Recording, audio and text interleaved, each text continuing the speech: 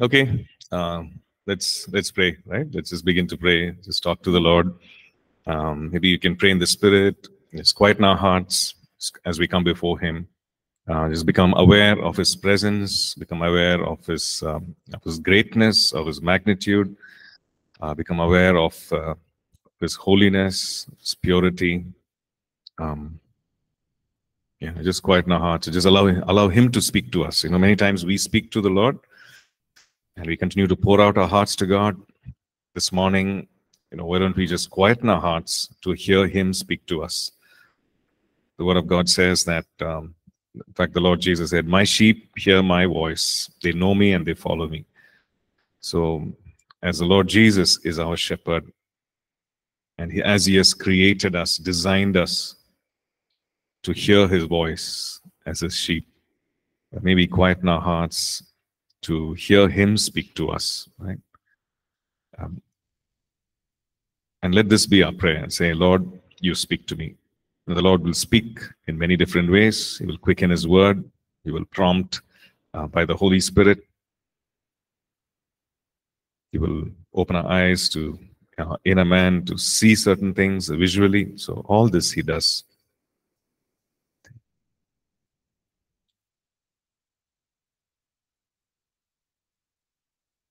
Amos. Amos.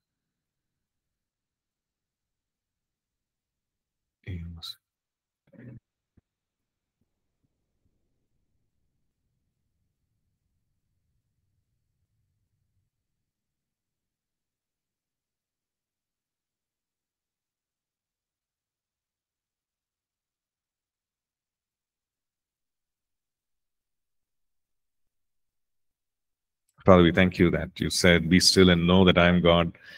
And yes, Lord, even as we quieten our hearts this morning, Father God, we we just want to come to that place of knowing, God, in the inner man, God, that unmistakable knowing, that unmistakable assurance in the inner man.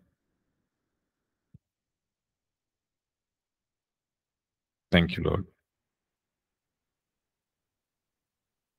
And I just believe that the Lord, you know, various aspects of who He is and and what He has been speaking to us, you know, He'll continue to speak to us. And He's continuing to put certain things in our heart. So let's just receive it in our spirit.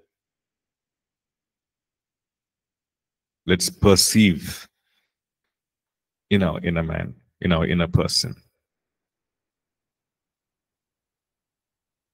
And let's make a note of it.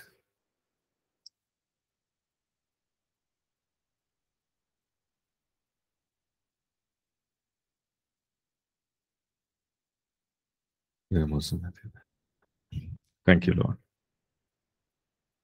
Thank you, Father.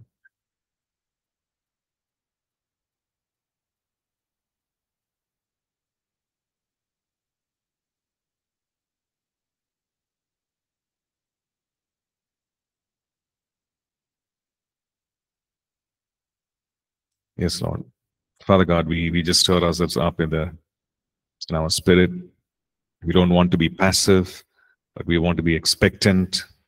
We want to be, Lord, people of faith, Lord, active, expectant, sharp in our spirit to receive, God, what you're putting in our hearts, God.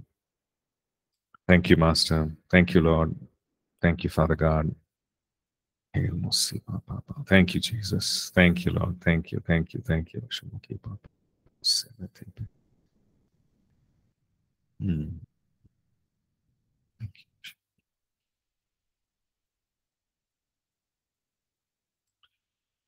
Hallelujah. Thank you. Let's just begin to just thank Him. You know, if the Lord has spoken to us and, you know, in simple ways, you know, He might have given just a word, He might have, you know, drawn us to remember certain things. Uh, let's just thank Him. Thank you, Lord. We bless your name. Thank you, Jesus. Thank you, Father God, that you're a speaking God. You're a God who's alive. You're a God who's among us. You're, you're one who is with us. Lord, we thank you that your presence is so real, Father God. We thank you that it's not just theory that we talk about, but Lord, that it's experience. Knowing you is an experience, God, experiential knowing. We thank you, Lord. We thank you, Father God, for this privilege. Thank you for drawing us. Lord, thank you for making a way, God, for each one of us to come to the Holy of Holies, Lord. Yes, Lord. You who dwells in unapproachable light, you have made a way for each one of us, Lord, to come to your very presence, Lord, to come to your throne of grace to receive to come to your throne of grace, to receive mercy, to receive grace. We thank you. We thank you, Lord. Fill us with your grace this morning. Fill us with an empowering grace this morning. Yes, Lord, let the weak say that I am strong. You know, if you're feeling weak and weary, just declare in the presence of the Lord, I am strong. You know, if you're fearing, if you're if you're feeling very fearful uh, and doubtful, and um, you know, for some reason uh, feeling very tired and weary, just just say, you know, I I will be strong. Let the weak say that I am strong. You know, you just say, I'm strong in the strength of the Lord. I'm strong because the Spirit of the living God dwells in me. I'm strong because I'm the temple of the Holy Spirit. I'm strong because I'm a new creation in Christ Jesus. I'm strong because I'm washed by the blood of Jesus. I'm strong because the, the, uh, the he took my sin away and in its place he made me the righteousness of God in Christ Jesus. And so I'm strong in the Lord and I'm strong in the power of his might. I'm strong because the joy of the Lord is within me. I'm strong because the Holy Spirit has released the love of God and the joy of the Holy Spirit is in me. The joy of the Lord is in me. I'm strong because I'm strong in His joy, in His strength. Hallelujah. Thank you. Thank you, Lord. Thank you, Lord. Uh, just go ahead and say, God, I exchange. You know, the, the, when we come to the presence of God, there is always a divine exchange. So we can place before Him, before the foot of the cross, what is unnecessary, what is not required, and, and, and take in, receive what he's extending. He's extending grace, he's extending mercy, he's extending strength, he's extending life. And so um, we can just, ex in exchange, um, you know, if we've been carrying burdens, if we've been carrying heavy things, you know, we can just lay it at his feet and say, God, I take, I take, oh God, I receive and I take. And I just want to lay these things down. So, what are some things that we can lay down? Some unnecessary weights that um, that slow us down, unnecessary things that hold us back, we can lay it at His feet this morning. Hallelujah. Thank you, Lord. Thank you, Father God. Thank you. Let's just begin to just praise Him, thank Him. Just open our mouths and maybe, um, you know, loud enough so you can hear. Just thank in your own languages. Just thank the Lord. Just praise the Lord. Hallelujah. We bless your name, Jesus. We thank you, Father God. We thank you for greater is he who is in us than he that is in the world. We thank you, O Father God, for the power of the cross, O Father God. We thank you for the finished work of the cross this morning. We thank you, O God, that you will never leave us, never forsake us. Come on, let's just open up our mouths. Even those who are watching online, you know, if you can, uh, just open your mouths and just praise the Lord and thank the Lord. Um, uh, the Bible says, let us come before his presence with thanksgiving. So we have a reason to give thanks because of the great exchange um, that has happened even today, even right now. So let's just begin to thank Him. Let's begin to praise Him. Let's begin to worship Him this morning. Father God, we thank you, Lord. We thank you for who you are, God. We thank you for right now, Father God, what you are doing in our midst, oh God. We thank you, Father God, right now, oh God, what you are, Lord, bringing about, oh God. Thank you for change. Thank you for new things. Lord, thank you for removing, oh God. Thank you for renewing, Lord. We thank you, Master. We thank you. We thank you. We bless your name, God. We bless your name, oh Father God. Yes, Lord, we, we remain open. We remain, oh God, uh, surrendered. We remain yielded. Father God, so you can speak to us, Master, as only you can, Father God. Yes, Lord, speak to us, Lord. We, we are ready to receive an impartation in our spirit, in our inner man, God. Yes, Lord. Thank you, Father God. Thank you, Lord. Pour out your spirit in an even greater measure this morning. Pour out your spirit, oh God. You know, if we are saying that, Lord, we are hungry for more of you, we are hungry, we are thirsty for more of you. We are saying, God, Lord, I just, I'm not satisfied where I am. I'm not satisfied, but I want more of you. You know, the Lord pours out more of Himself, more of what we need, what we really need in the inner man. So the Lord pours out. So just go out, go out, just uh, go ahead and just receive. Yes, Lord. you know, receiving is the posture of our heart. So we receive with open hands, we receive with open hearts. Excuse me. We receive with humility we receive with joy. And so, you know, just lay everything aside and say, God, I, I've come for an encounter. I receive from you, Jesus. I receive from you, Lord. Thank you, Lord. Thank you. We bless your name, God. We bless your name, oh God. We thank you. Yes, Lord, this morning we give you praise. We give you glory. Yes, Lord, even as we, Lord, even as we, Lord, behold your glory. Yes, Master, we pray that, uh, that from our deep, from deep within our hearts, God, that we will worship. Worship will arise. Adoration, praise, thanksgiving will arise, Father God, and that we will truly worship in spirit and in truth, oh God. We thank you, Master. We thank you. We thank you that you created us for this one thing, Lord, to be in awe of you, God, to receive our plan and purpose from you, Father God, to walk in victory, Father God, to walk and do the good works that you've called us to do, Father God. We thank you. We bless your name. We give you all the praise. We give you all the glory.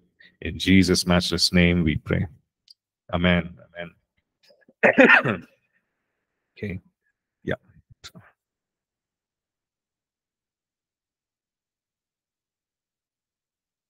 Want to check? Okay, um, just a couple of minutes.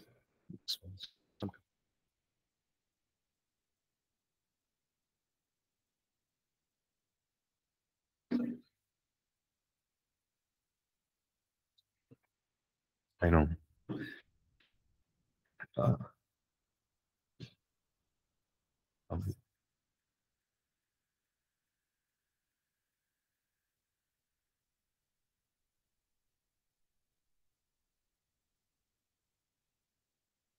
better? Yeah, okay. Okay, yeah, eh, sorry about that. So last class, anyone remembers? What happened? Seems like such a long time ago, somewhere in the past. Okay, what do you remember? Someone, yeah, from last class.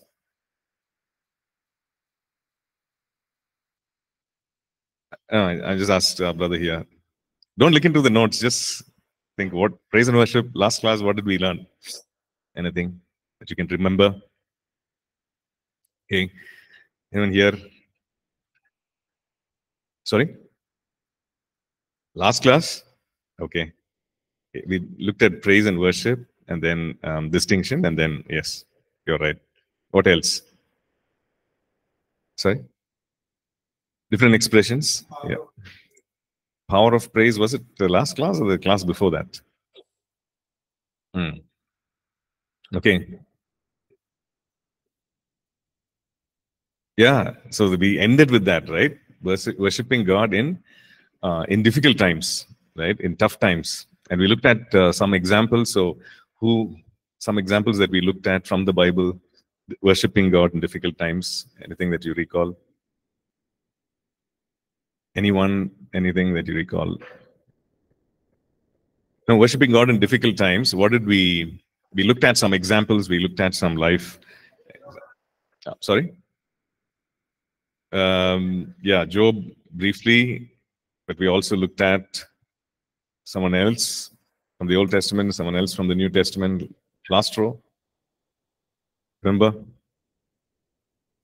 Sorry?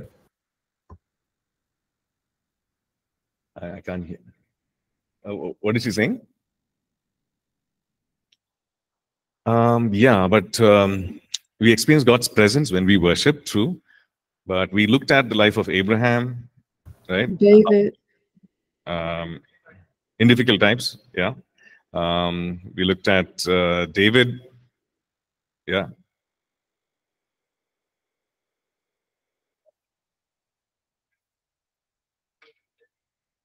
Hmm. Defies definition, but uh, in when it, when we looked at uh, difficult moments, worshiping God in difficult moments, we looked at uh, we looked at Paul and Silas, right? Um, and that's in Acts chapter 16, right? We looked at uh, Abraham offering Isaac, and it was a difficult thing. Why was it difficult? Because Isaac was the promised son, and he received Isaac after so many years. And then God says, "You offer Isaac as an offering of worship," but he still he still did that. Then, of course, um, uh, we looked at David and how he worshipped the Lord. So, in all this, um, in studying all this, we realize that well, praise or worship has little to do with how we feel. Like many times, because it involves singing, because it involves um, you know all these expressions, we we make it a point that hey, I don't feel like it today. Today I don't feel like worshiping. Today I don't feel like praising. Right, but we need to make that adjustment and say, you know, especially in those times or in those moments when we don't feel like it emotionally, I don't feel like thanking God. You know, I don't feel like praising God. I don't feel like singing. You know, those are times when we need to look at who God is, like look at the character and nature of who God is, because that's never going to change, right? He is the same yesterday, today, and forever. And the best way to look at who God is is look at look into His Word. Right? You look at the character of God, you look at the nature of God, His faithfulness, His goodness, His mercies, and everything, and then automatically, you know, our feelings change as well. And even if the, our emotions don't change, right, we can make a decision, right? We can make a decision and say, I will bless the Lord. I will praise the Lord. Right? Like the psalmist says in Psalm 34, verse 1, I will bless the Lord at all times. His praise shall continually be in my mouth.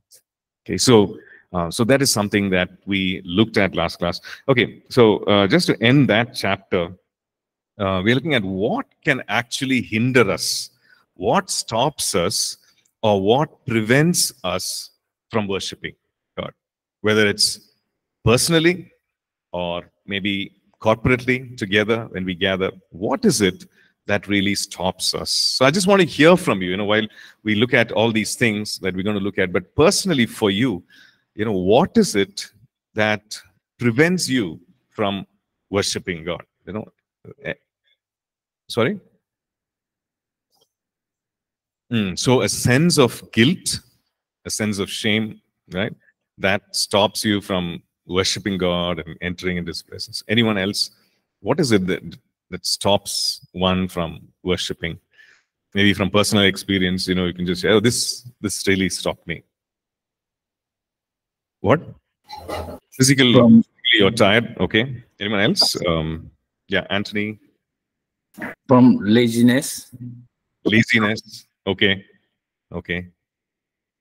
Busyness, right? You're busy, so you don't want to make time. You're saying when you just uh, say, okay, I let me just spend some time just praising or worshiping Him, then you think of hundred and one other things that are not done in your life right? Okay, I need to do this, I need to do that. And only then all those things come crowding in. And therefore, this becomes a less of a priority. Right? So we say, okay, I'll do it later. Right? Right now, I need to do some cooking. Right now, I need to, you know, do that. I need to send that email. I need to send that text, make that phone call. Uh, right now, I need to do all this. Therefore, you know, worship, uh, I'll do it later. Right? Uh, what else? What else hinders? Yeah.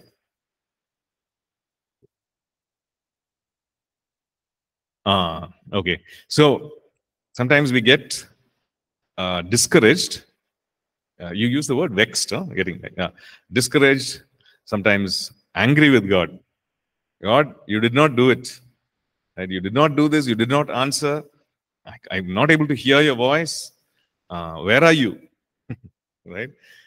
And in fact, the psalmist went through such seasons, but he even turned that into a conversation with God. Turn that into a moment to actually approach God, right? To sing to Him. You know, where are you, God? Are you there? Are you really there? Can't you see? I'm I'm struggling. He turned that into a time of communing with God, right? A deep communion with God. You know, no no masks, nothing at all. No, no pretense. Very sincere, very honest, very raw. he just turned it around and said, you know, are you there, God? And just venting his anger and everything at God, and then coming to a place of saying, acknowledging God, yeah, this is who you are, right? So, yeah, so all that, yeah, sometimes stops us. What what else?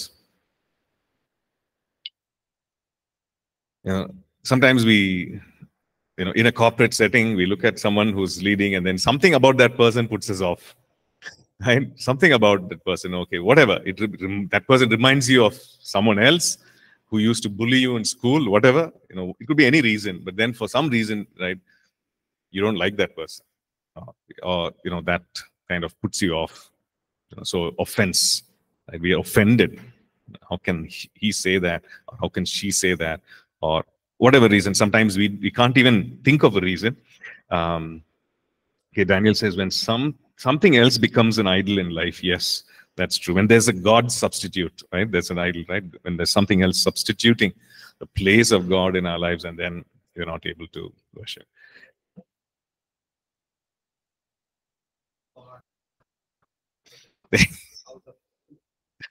Wrong chords. Okay. Yeah, that's true. That becomes a distraction, that becomes a hindrance. True. Sorry? Unforgiveness. Yeah. Uh, it's it's like offense, like bitterness or unforgiveness uh, in our hearts, and then we are trying to worship, go beyond that, but it's like a it's like a closed door, right? You don't feel that freedom because it's like a heaviness, you know. Yeah. So all these uh, reasons. Let's look at a few which we have in our notes. Okay. Uh,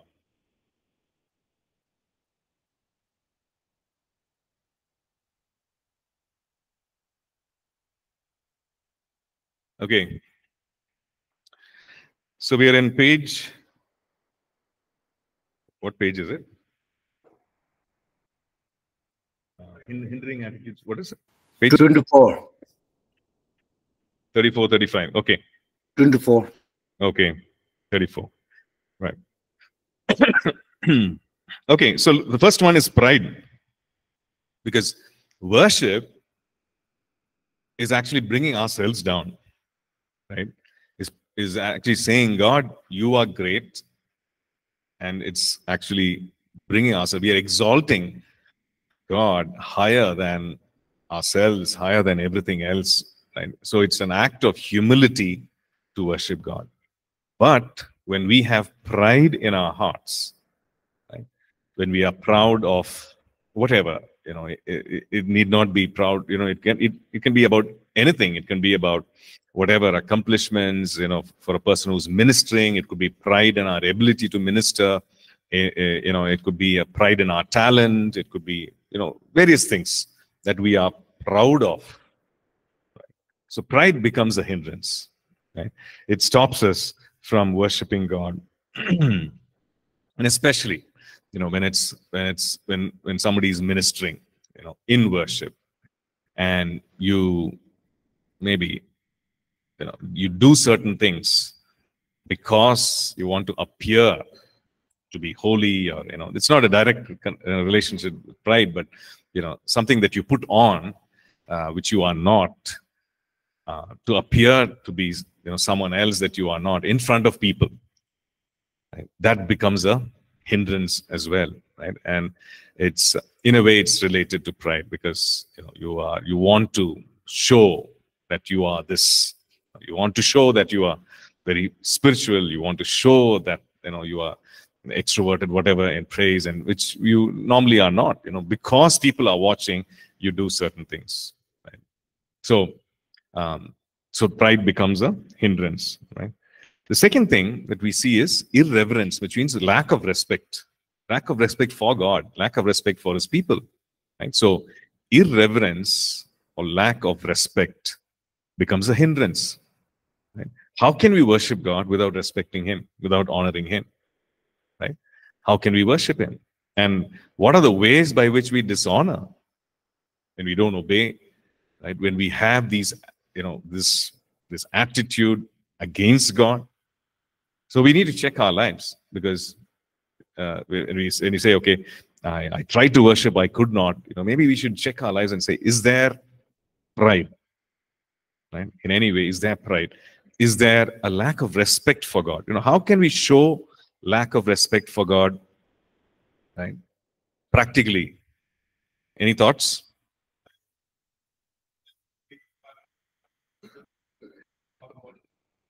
Fun of others. Okay. Okay. You don't respect people. Okay. But directly, when it comes to uh, respecting God or dishonoring God, uh, what are some ways by which you know we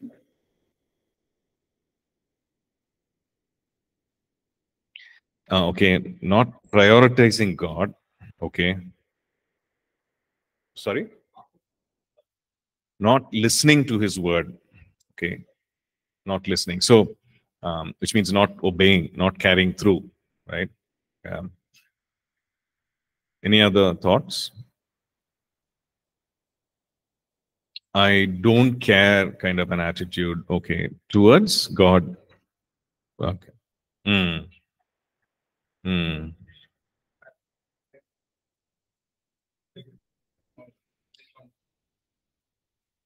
so not prioritizing right Hmm. sorry not not repenting okay Hmm. when god speaks when god convicts not repenting so yeah so when we don't when we don't you know esteem god in a practical way we when we don't esteem his word which means when we don't respect his word by not obeying not taking time to really receive right to read we are actually you know not honoring god right? These are practical ways. We say god i honor you. We can sing it but in our lives we may not actually show it because in our lives it's completely opposite of what we are singing or what we are declaring right? So very simple way is you know am i honoring his word? Am i esteeming his word? Am i making time for his word right? Um, it could be word it could be even the presence of god in prayer and so on. So am i honoring god?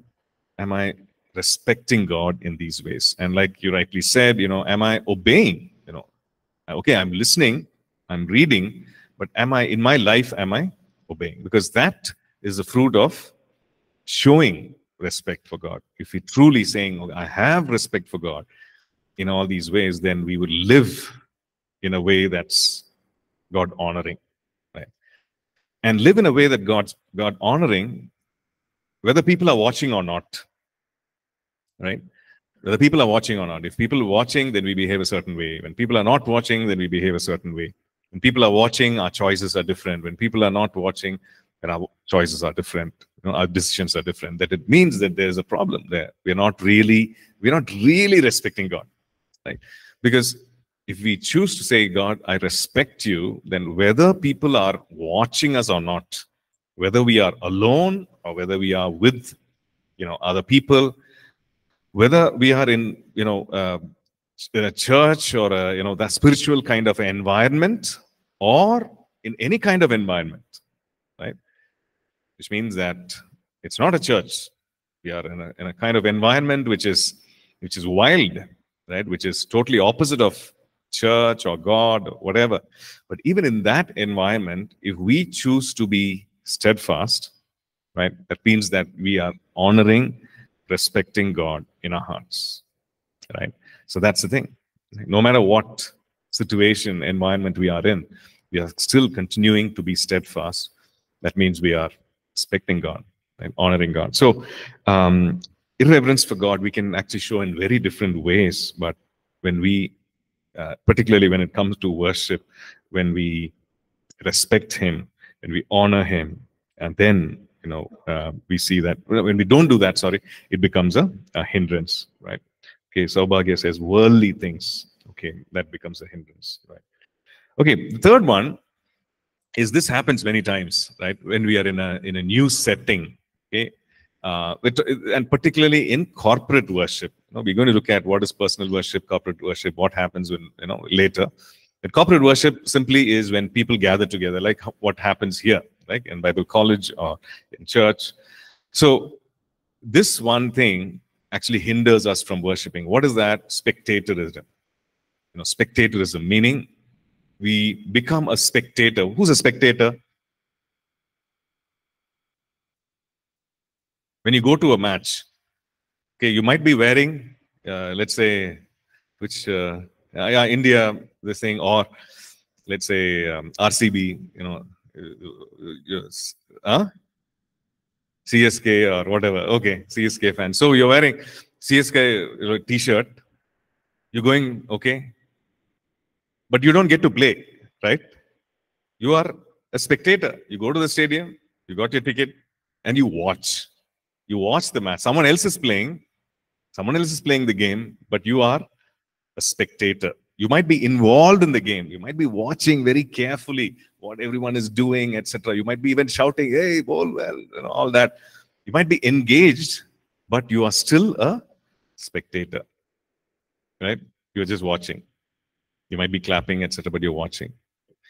Now, in worship, we are, in a way, you know, I think we should say that we are the worship team. Right? Even though there is someone who is leading and, you know, and others are, you know, just someone who's leading as a lead worshiper to facilitate.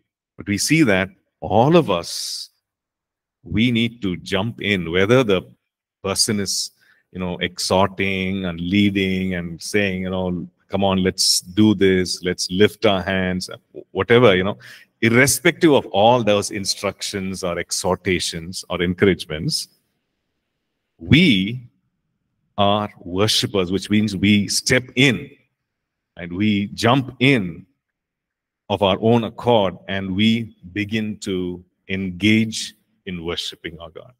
We step in, we begin to worship. If we step back, then we become spectators. We are not engaged. We are listening to what is happening. I just want to, you know, listening to, uh, we are watching, hey, what is that person doing? What is this person doing? What is that team doing? Okay, what are the lights there? What is a smoke machine there? Oh, okay, wow, oh, wonderful.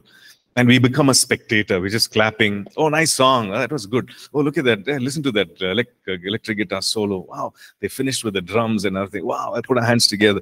We, everybody's, you know, clapping. Okay, I'm, on, I'm also going to clap. But then we are actually spectators. Our heart is not truly engaged with what is happening. Right? So when we have that kind of an attitude, I'm going to church, I'm going to attend church, I'm going to watch what is happening, then we become spectators, right? Oh, I don't know this song, so I'm not going to sing. Many times it happens, right? Many times. I, I don't know. This is a new song. I can't sing, right? But that's a wonderful opportunity to to look at the words, you know, some and to think about the words, to sing out in tongues, to praise God, worship God in, in, in tongues, right? It's a wonderful opportunity to do that. Okay. Uh, so spectatorism. When we are spectators, when we distance ourselves, then we become, um, you know, that becomes a hindrance for us in worship. We don't realize that. We come back saying, hey, something was wrong. Right? Something was off. Something was wrong. Why we we did not take that step to engage. Okay. Fourth one is sentimentalism. Being sentimental about the tune or being sentimentalism, which means that you know you're paying attention to maybe the you know the, the melody, the tune, more than the words, and so we are not again engaging in worship, right? So the music part of it you know and this this is a you know this is a draw for musicians. You know musicians struggle with that right? The music is great the music is good. Just focusing on that just going wow and and forgetting to really engage in stepping in uh, engaging in worship right? Um, maybe it's you know some church that we've seen online some you know, some band that we've you know uh, we've seen online and they come and then they have a you know worship evening worship night worship concert and then we go there expecting to be entertained. We go there right? Oh, these are familiar songs. I'm just waiting for that tune, uh, you know, that that part here, oh, that break here, that phrasing here. And what is happening is we are focusing more on the the music part of it and forgetting that hey, it's actually a moment to engage in God's heart and worship, right? So that becomes that happens. You know, we need to guard ourselves against that.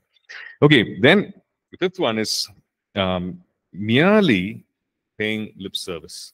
What does that mean? This is, this is what the Lord said, Matthew 15. You know, you say the right things. Right? We are saying the right things. We are, um, you know, singing the right words. But our heart is far away. Right? So it sounds nice. When you actually hear, hear a recording, it's sounding, oh, this person is saying the right things. All the hallelujahs are there, all the praise the Lords are there, and you know, everything is there. But God knows, God only knows, and we know whether we are truly worshiping, right? Worshiping the Lord, because these are just mere words. Right? Our heart is far away. We are not engaged. So that becomes a hindrance, right? Okay. Uh, another thing is fear. Fear of what? Right? Fear of maybe it's because of some old experience, right? See, when it comes to leading worship, yes, people do make mistakes, right? People talk down sometimes, and people do make mistakes of being very controlling. You know, uh, if you don't, you know, lift your hands now, you know, maybe you know they shame people right? instead of drawing people out of their shell to worship, right? Just pushing, pushing, and and then people go further into shell. I don't want to do this. I don't want to. I don't want to lift my hands. I don't want to sing, sing out. Um, and so, fear of being manipulated, maybe because of past experience. You know, that person said that. That worship leader said, you know, said jump, and then I feel very ashamed, and and so I'm not going to do it. Right. So that becomes a hindrance right from the start. You're saying I'm going to be I'm going to be careful. Right? Whatever the worship leader says, uh, I'm going to I'm going to be careful about it. I'm not going to do it. Right. So we become fear of being manipulated, so uh, controlled by whoever's leading worship and so on. Um, the last one is when it comes to some new thing. Okay? Some new thing the Lord is releasing. Uh, maybe we are not used to it we are not used to it, something new that the Lord is doing, something new the Spirit of God is introducing and releasing among us. So we resist it because it's out of our comfort zone, right? We resist it. Um, you had a question? No. Okay. So we, we so we resist change, any form of change. That happens, right?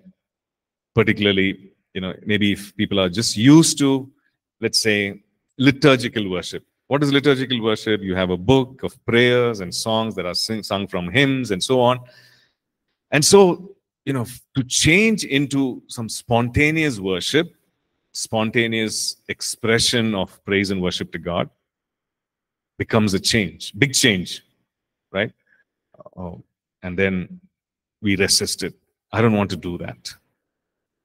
And maybe, you know, when we looked at some of those expressions of worship, of clapping and lifting of hands and you know even a dance or shout of praise and so that becomes you know that becomes a, too much of a change for some of us saying uh, I, I don't want to do that i resist any kind of change right by nature right we are we we are creatures of habit right we want routine we want the same thing um, but change we are, we are not able to take it. We resist change.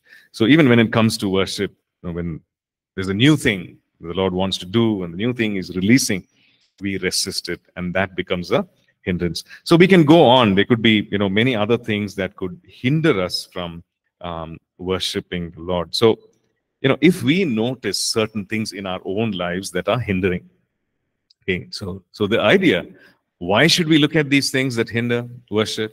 You know, the idea is this that when we know that something hinders, then we we make it a point to be careful in that we don't allow that to hinder us the next time wherever we go, right?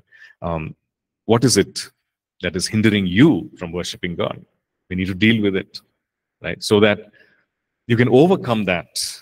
You can go around that, over that, and and then press through and worship, right? Um, because especially when it when it comes to a hungry heart right when there's a hunger then we'll put all these things away right by that i mean that when when you're hungry when you're truly hungry and you, you know for god when you're truly seeking god when you're truly wanting to you know uh, be in his presence then a lot of these things will be just minor issues right we just put it away but when that hunger level is not there right? Something has taken away our appetite for God, then you know we we are not mindful of all these things, and these things can creep in and become hindrances, like uh, for us in worship. Right? So the main thing is this: you know, to look into our own lives and say, you know, is, is anything hindering me? Am I being a spectator? You think about it. You know, we spend so many afternoons, you know, uh, especially in-person class, or so many afternoons in, you know, supernatural worship. Uh, I mean, supernatural time, prayer time. So the thing is to ask yourself, right? Is anything hindering me from worshiping? Is anything hindering me from worship? Right? And to make a decision, I'm not going to let any of these things hindering to hinder me. Hinder means stop, limit me, right? prevent me from worshiping God. And you know, no one else can make that decision. You need to make it, right? You need to make that decision. Okay. Any questions?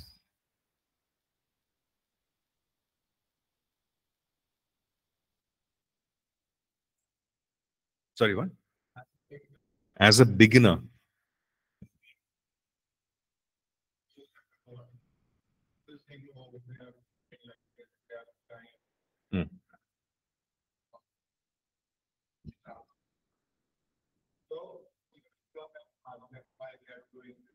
Hmm.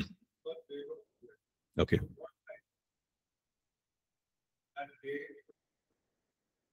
They should not be hindered. Okay, so uh, the question here is, um, you know, if uh, maybe as a beginner, as a person who's just, you know, being expressive in worship in all these ways, and, and you know, you you begin to do this, but then there are others who watch, and maybe it's not their kind of, uh, it's not their way of expressing worship to God, and so they come and ask you, why do you do it, and you know, uh, and and so on. So how can I uh, not be a hindrance to others right? So how can i you know what what response do i give? Give an honest response right? Honest response and say give the reason for why you do what you do. And especially since we have you know learned all this you can always say that hey this is in the word of god. So i'm not doing anything that is outside of the you know um, uh, of god's word. Outside of scripture it is in the word of god it's um, it is there and we are encouraged to do that. So and and that is it right? So, um, so an honest answer would always help. Not looking down on the other person. So most of the times that's what you know. We look down on the other person. Hey, you don't even know this. You don't even do this. Um, you know why? And that that becomes a hindrance actually. But then if we have an honest heart-to-heart talk and say, okay, this is why. This is the reason. Maybe you should do it yourself, and then uh, that doesn't hinder the person? It becomes rather you can encourage the person. The person. Yeah. Yeah. Mm. Mm.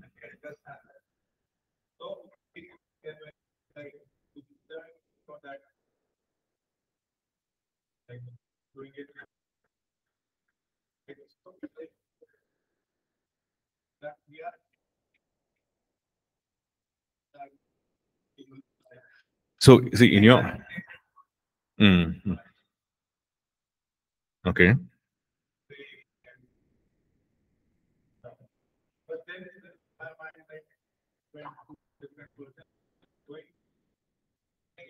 Mm. Okay, so your question is okay. If I if I watch someone and I feel that that person is extreme in his worship or her worship, extreme expressions, extreme this thing, and it doesn't fit the grid in your mind. It doesn't fit the scale of measurement in your own mind, uh, where you have a certain threshold of this is what worship should be, or this is how extreme it should be. Right? It doesn't fit in. Okay, so um, so in that way, if that is the case, uh, it becomes a hindrance for you. Yeah, uh, so that's the thing. Yeah. So the thing is this, you know, we will always have those kind of challenges. We will always because I remember, you know, going for a wedding and uh, and then in that wedding service, one person was extremely vocal in worship, right? So, um, you know, I was just like thinking, thinking, you know, why why is that person like that? You know, it's a wedding service, and uh, you know, wedding you have a certain picture in mind, right? Solemn, uh, occasion, yeah, joyful occasion, solemn occasion. And so this person's worship was loud and, you know, it was just, so that was my, that was my understanding. I why, why? But then you realize that, hey, that person is excited about God. It could be wedding, it could be funeral, whatever, but that person is excited. And that person is expressing vocally. Uh, any, any questions here? Uh, doubts? Yeah, you have a doubt? Okay, I'll just finish this. So, uh, so the thing is that you know, so it's a it's a adjustment that we make internally, right? When we say, okay, so next time, or or if you if there's an opportunity to get to know the person, then you realize that hey, this person is fine. Uh, having said that, I know that there is also something that we do in the flesh, right? It could be I I, I want to show. That is also a possibility, and that's the next chapter. What the next chapter is about. Okay, um, we'll come back to your question later after the break. Right? We'll take a break right now, and we'll come back in ten minutes.